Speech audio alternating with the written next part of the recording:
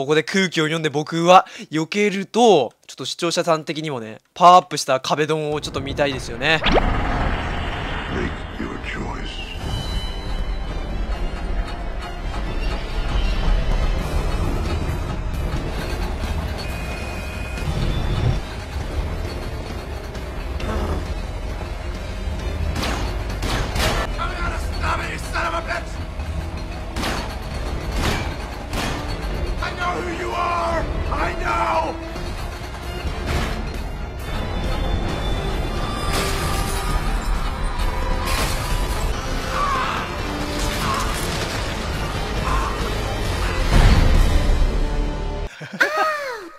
何これ？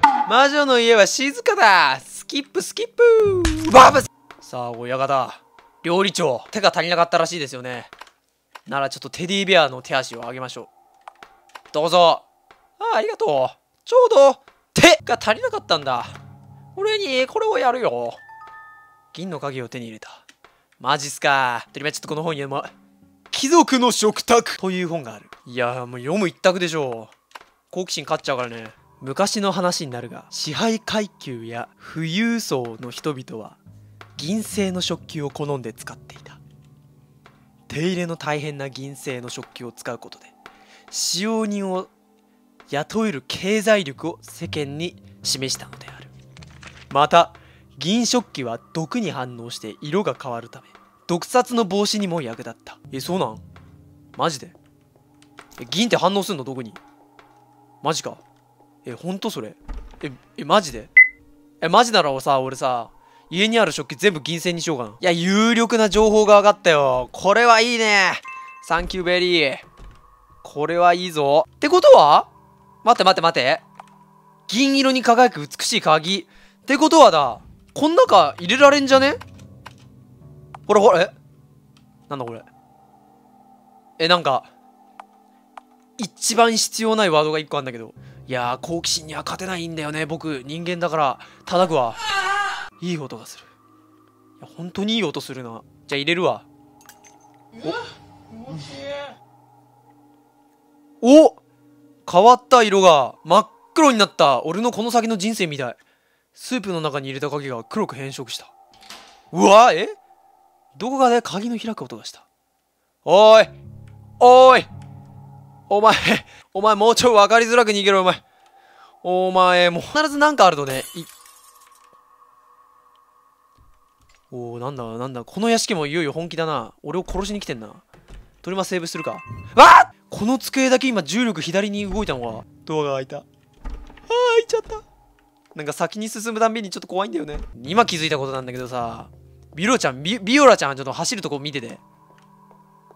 エロくさあさあさあ先に行きましょう。おおなんだっけお前。お前いたわ。今の今まで存在忘れてたわ。お前結構重要な役目の人じゃなかったっけ？忘れちゃったけどなんか結構あれだよ。うん。あ待て待て待て待てお前何何やってんだ？猫の置物があ置物だったわ。はお前。次くだらねえ嘘ついたらお前鉄の少女にぶち込むかんな。お図書館か。え？2階の方がすんげえ豪華じゃん。なんだこれ。透明な人多いな。影薄すぎでしょ。話しかけます。ああ。本の整理がうまくいかないや。何か縛るものないかな。なるほどね。本の整理をしてると。なんかまともな人もいるもんだね。ここに。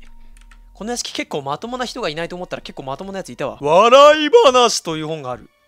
いやー俺のね黒歴史の方が多分笑い話だと思うよ。昔々ある金持ちの男が大きな宝物を手押し車で運んでいました。車は森の中で壊れてしまいましたがそこへ借り人と犬が通りかかりました金持ちの男は借り人に手押し車を見張っていてくれるよう頼みこれを承知しました。金持ちの男は代わりに車を呼びに行きました。その間借り人は宝物を見張っていました。やがて夜になり借り人は家にいる老齢の母親のことが心配になりました。はあそこで借り人は犬に手押し車を見張るように言いつけて母の様子を見に帰りました。金持ちの男が戻ってくると犬が手押し車の番をしていたので金持ちの男は犬の主人へのご褒美として犬の主人への交尾として銀貨を犬に加えさせてやりました。犬は家まで走っていき借り人に銀貨を渡しました。それを見た借り人は怒り狂いました。手押し車のバイをさせていたのにお前はあそこから銀貨を盗んできちゃうか？なーにしてんのこのバカ犬が！死ね！いや何笑ってんねん。お前が笑うんかい。うわ。何これ。どう考えても地下室みたいじゃんここ。これあれか。こうか。よいしょ。雲は目が悪い。色まではわからないだろう。雲って目悪いの？あんな目いっぱいついてんのに？へえ。よくわかんねえな雲って。あロープ。ラッキー。持ってくべ。持ってく持ってく。じゃついでにちょちょちょ持ってくべ。雲の背に金色の金色の蝶ってすげえな。どう見ても黄色だけどな。まあいいや持ってくべ。まあ、ゲームが金色っつうなら金色なんだべ。超ポケットに突っ込んでんのかな。え？なんで？なんで開かないの？え待って待って。えなんかめっちゃ奥めっちゃ光ってるぞ。ああ えどうしようこれ。ビッグスパイダーポンフレットが来た。あー！あー！進化してる食い殺され方が。ちょっと待ってロープだけは持ってこう。多分蝶々取ったから多分雲ガチ切れしたんでしょう、まあ、そりゃな飯持ってかれたら切れるわな。ピザ注文してさ友達にピザ全部バカ食いされたら俺ブチ切れるもん。雲もねさすがに感情はあるんだ。いやいやいや明らかに動いたでしょ。動いたからお前今走るのやめたんでしょうが。明らかに今動いたよね。ほらロープだ。あそれくれるの？あげますよ困ってるんでしょ？ありがとうこれあげる読むと死ぬ本、お前ぶち殺すぞ、お前。お前、お前、なんちゅうも俺にくれてんだよ、お前。お前よ。いや、せめてなんかもうちょいいいのくれよ。読むと死ぬ本なんて、誰が欲しがる？まあ、読む、読むけど、読むけどね。読むと死ぬ本って言われたら、ちょっと好奇心あるもんね。Google とかでさ、3回見たら死ぬ絵でさ、ちょっと面白い画像あったんだけどさ、あれと同じでしょ？どうせ死なねえべ見ても。ほら。普通に読んでるほら。あ、感動して泣いちゃってるほら。あれ？え、なにこれ？マジ？おー、ビオラちゃんこすりすぎだよ、お前。お前、お前手で、手でお前ヤスリでこすったか、目。絶対おかしい、今のは。おかしい、おかしい。いや、ほんとこいつ最低だ。本当に死ぬ本くれたんだけど。本当に読むと死ぬ本くれたよ、こいつ。なんかロープあげるの嫌になってきたわ。いや、でも何かしら使うんだべ。いろいろと光ってるとこあんな。魔女の家2。いやー、ちょっと待って、一巻から読みたい。一巻から。あったあったあったあった。魔女の家は扉、魔女の家の扉は鍵では開かない。何かが鍵になっている。おお、名言だ。人生は鍵じゃない。何かで開く。いや、つまんなしねえよ。魔女の家は魔女の力によって姿形を変える。あら、そらすげえな。新聞記事。はあ。これあれだべ、結構重要なんだべ。まるまるまるまるまるまるくにて まるまるさん宅がえ全焼燃えちゃった。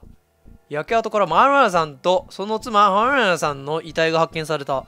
あら遺体には刺し傷があり何者かが2人を殺害後建物に火を放ったと見られている。また事件後アレウララさんの一人娘である。エレンちゃん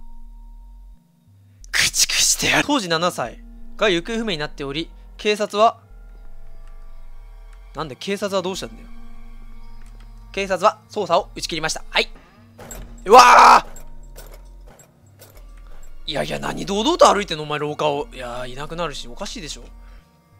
いや、お前も一言くれよ。甲冑が今廊下を歩いてたんじゃん、みたいなさ。なんか一言くれよ。こっちは？うわ。なんだなんだこれ。ガラスケースに昆虫の模型がずらりと並んでいる。俺虫好きだから結構いいな。これ何これ？あ、これ蝶々だな。青い羽の。え、持っていこうぜ。え？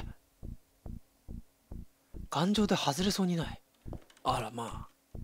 ガラスケ、人間の頭部？え？一瞬目を開けてこっちを見たような気がする。いや、お前恐ろしいな。お前の何々、あ、もう確定やん。もう確定だな。これ確定演出じゃん。ほらほらほらほらほら。ほらもう見てたじゃん、絶対。お前の何々だった気がするって大体全部当たってんだよね。なんかさ、ホラーゲームの定番でさ、今なんか〇〇だった気がするって気がする絶対当たってんだよねでそれを気がするでおなんかやり過ごしちゃってっから死ぬんだよな絶対あれこれなんかやったらさ絶対気がするじゃねえんだよ絶対来るんだよあいつ絶対頭部勝ち割ってなえそ絶対来るでしょう。怖いなもう本当に。いや本当にエロいなビオラちゃん。ぎっしりと本が集まっている。見りゃわかる。あこれあれだべ。読むと死ぬ本だ。ほよよよ読むと死ぬ本だ。読んじゃダメだよ。ああったあったあった。よしよしよし。本を差し込んだ。あ？ちょちょちょっと待って。ちょっとちょっと待って。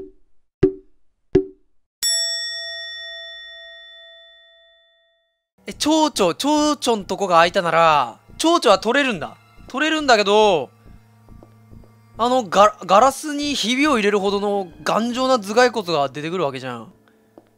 死ぬやん俺。ほらほらなんか聞こえるもん。言っていいのこれ。ハロー？誰か今？いやー！ああああああ頭蓋骨頭蓋骨ああ待って待って待って頭蓋骨がああ痛い痛い痛いはあよかった。ミオラちゃんのスタミナがあってよかった。この子がエロくてよかった。癒しになるわ。いる？いなくなってる。あ。あトリマ持ってこ。うよし。いない？もう。いなくなってる。いなくなってる。はいひょっこりはんとか言って本棚の後ろから出てきたら怖いよな。蝶々はだいたい察しがつくよ。ここでしょこれを取って取ります。でここにえっ、ー、とちょうど模型を引っ掛けます。まあ雲バカだからな。気づかねえべ。うわああマジ怖い。あマジ怖い。おおおおすげえ。ピーターパンみたい。すげえな。お！鍵が開いたそうですよ先輩。あ猫いね？で扉も開いてる。なんで？あ？なんだ？雫みたいな音聞こえる。なんだ雫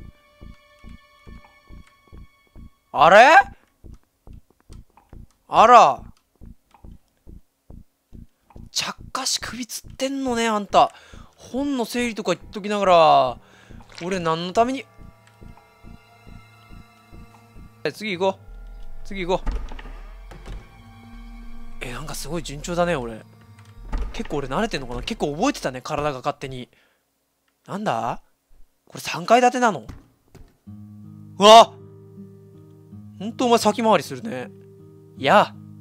いや、やーじゃなくてもっとなんかくれよ。なんかもうちょい俺を励ましてよ。怖いからさ。まあいいや。行くか。どこまですっかなべ ちょっと待ってよ。警告してんだな、ゲームが。鳥間ここまでにしとけって。じゃあ分かりました。いや、今回はね、ちょっと、剣がね、ここまでにしろっていうので、ちょっともうここまでにします。お邪魔しよ